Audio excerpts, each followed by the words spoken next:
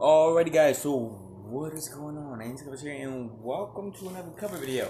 Today we is watching a video called Surviving Actual Military Combat. This is a video by the Infographic Show.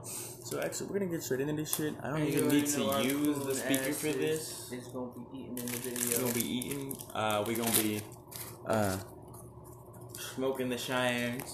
So how does he get them? He's only 20 years old. I know Chance is wondering. I got a guy, bro. This dude. He's got my back, okay? He's got my back. Let's go.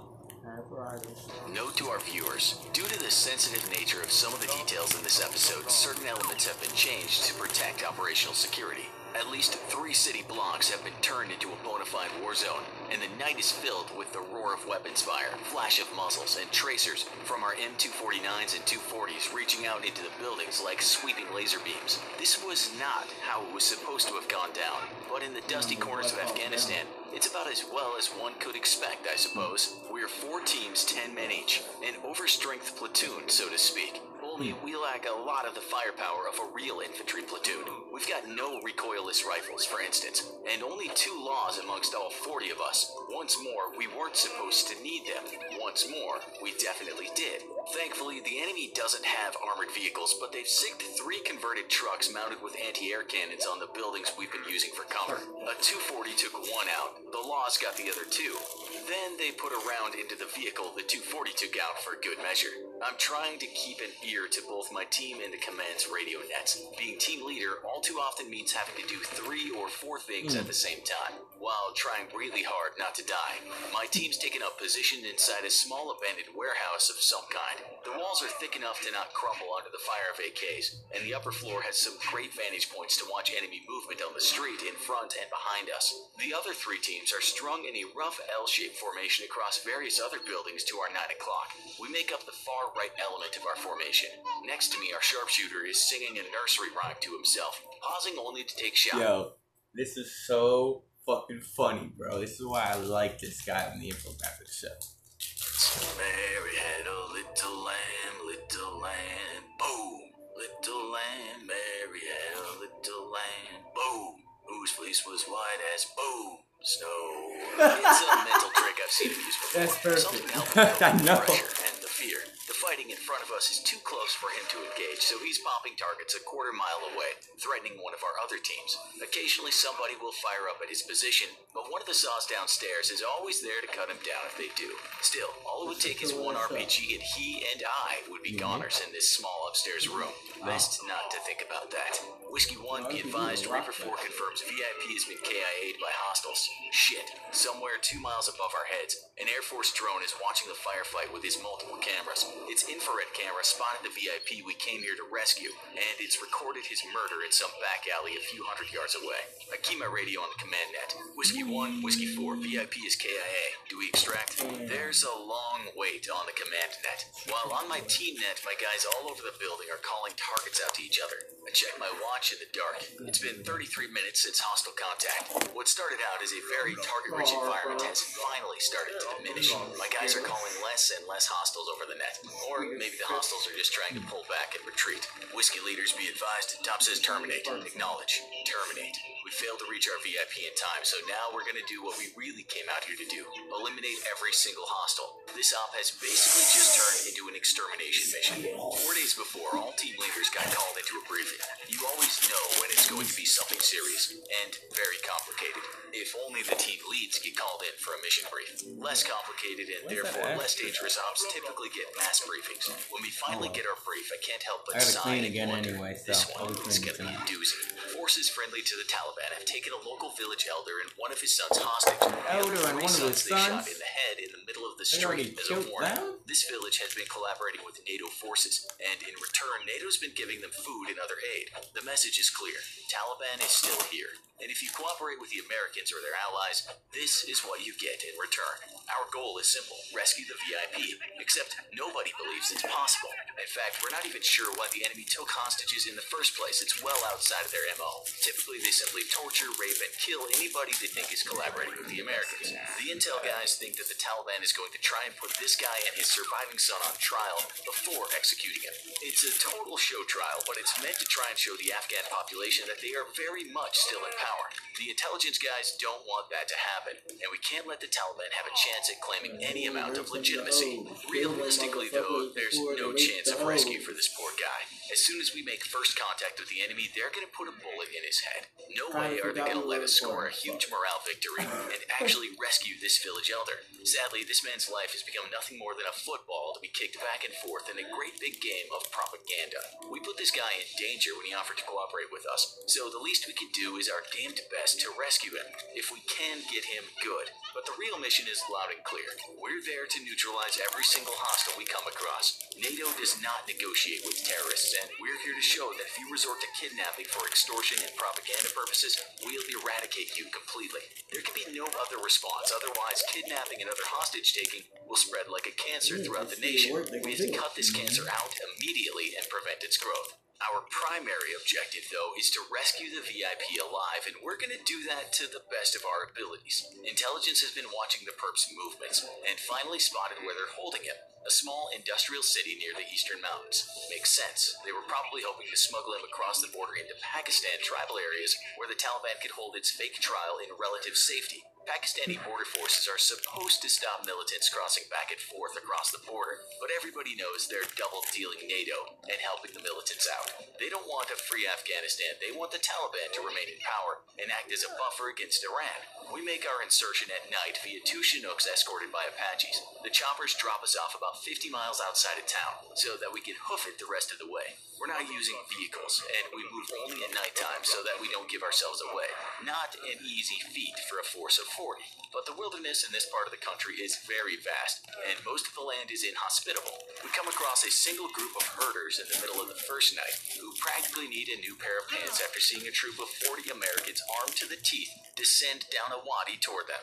We get the herders the equivalent of $50 each, an astronomical sum for these dirt poor Afghanis, and hope that it buys us their silence. If not, well, we did come looking for a fight. The farmers bless us several times and offer us cheese for our journey. There's not nearly enough for all of us, but we gladly accept what they offer. The Afghan people are incredibly generous and most honorable. The gesture is one of respect and kinship, and it sets us at ease about having our movement betrayed. On the second night of our march, we near the small city and widen the distance between each team, putting about a half a mile between us. In the dark, rocky wilderness, it's very hard to spot us, but we have a couple of Australian Special Air Service guys with us who are incredible scouts and guides. They pick a path through the wilderness that keeps us moving along wadis and canyons hidden from prying eyes. Surprisingly, the infiltration into the city's outskirts should be easier than remaining hidden throughout our wilderness trek.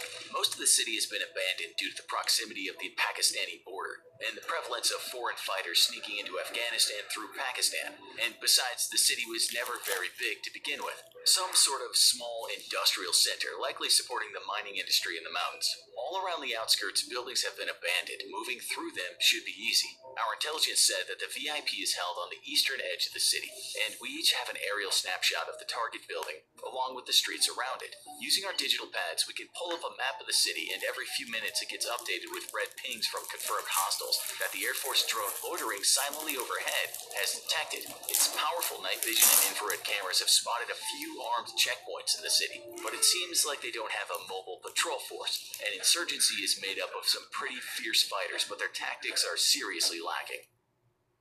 YouTube is the number one site for millions of creators online. But as more people flood to the platform, it's Fuck. All four teams move into the city outskirts at once. Our rifles are silenced, but the silencers don't last very long and aren't nearly as effective as Hollywood makes them out to be. The key to success is going to be move fast and hit them hard. As soon as we make contact, the quick reaction force will land on Blackhawks and Chinooks on the west end of the city, trapping the enemy between us. Once things get loud, several air assets, to include Apaches right now on the station several miles away, will come in to deliver air Every support. An Air Force every man with a controller with five us has a thousand dollar gun or twenty thousand dollar gun.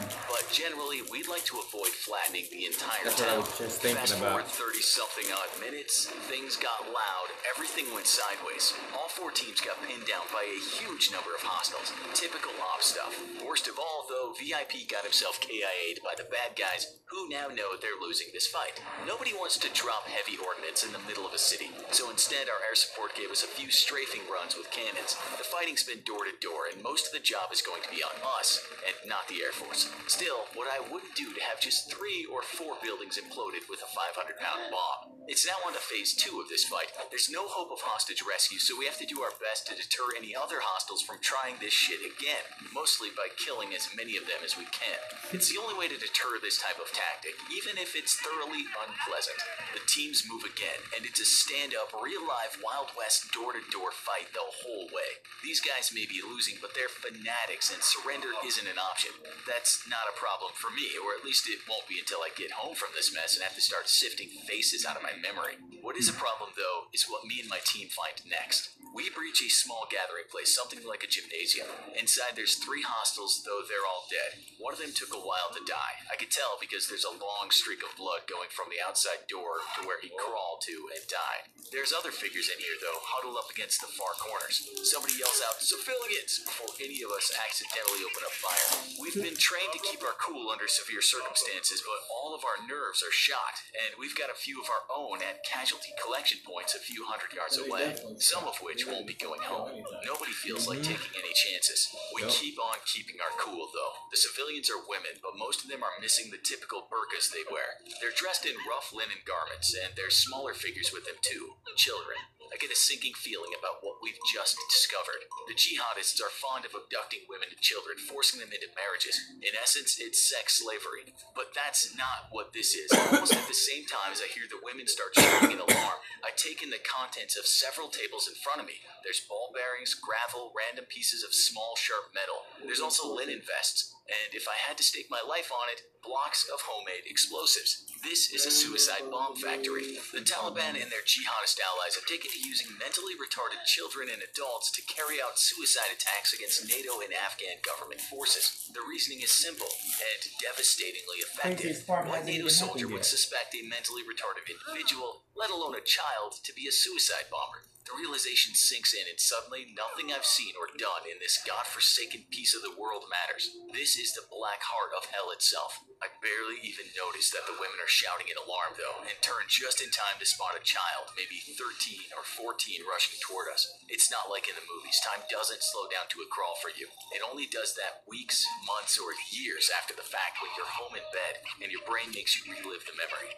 I have to piece together what happened from memory. I remember somebody shouting, one of our guys. There was a roar of an M4 carbine, but it was only one shot, not our usual double tap to confirm a kill, and not a quick burst of fire from the rifle's three round burst fire setting. It was just one shot. A single, reluctant shot, center mass on a child. It didn't matter though, the detonator had already been triggered. When I came to, I remember myself thinking, that's the second time. You can't keep taking concussions like that. I follow the NFL. I know how bad concussions can be. Your brain is funny like that. It pulls the most random concerns to the forefront of your mind, smack dab in the middle of a crisis situation. I remember talking to a guy once who got shot up pretty bad and things didn't look good for him. He told me that he just kept thinking silly random things like, I really need to get a haircut. I let my hair grow too long. It's definitely out of regs. Concussions was So what what what were you what were you, Azim has told me this that the the fact that when when he was drowning, Azim told me this that that drowning wasn't wasn't the scariest part. So like, did you have any funny thoughts? Uh, yeah.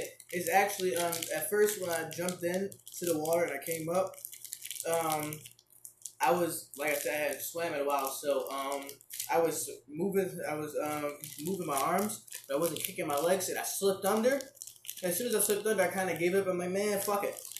And then as I was like sinking, I was I flashed back to when me and Aaron were walking to Charlie's that day on the walk there. Uh, we were talking about what happens after you die and reincarnation and shit. So I was thinking about that. That's ironic as fuck. hmm Yeah, that was that's what I was thinking. It was ironic. I was like, how ironic that we were just I'm talking about that. I'm about right to find now. out. I'm about to drown right now. Yup. I'm like, wow, that was a red flag. Death flag, it was. All right. But yeah, and then fucking um, I started thinking like, you know what? Nah, fuck this, man. Like I can't fucking go down. I did. I'm like, me and Charlie didn't make it on YouTube yet. I didn't fucking do so much shit. I'm like, man, fuck this Charlie just had a baby. I became her. I became her like almost uncle ish. He is her. He's her blood uncle. Cause we're blood brothers. Let's finish this video, now. Yeah. My silly thought, and I suppose it was really just my brain rebooting itself. Things became hazy after that.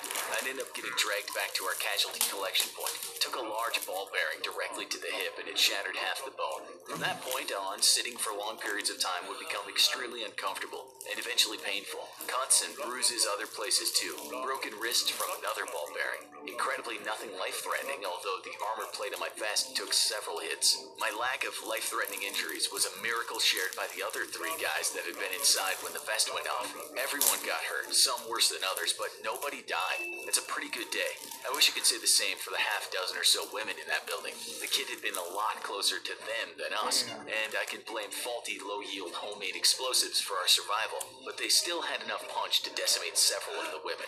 I remember seeing them extracted out along with our wounded, though I never really found out what happened to the survivors. Never even found out where they'd come from.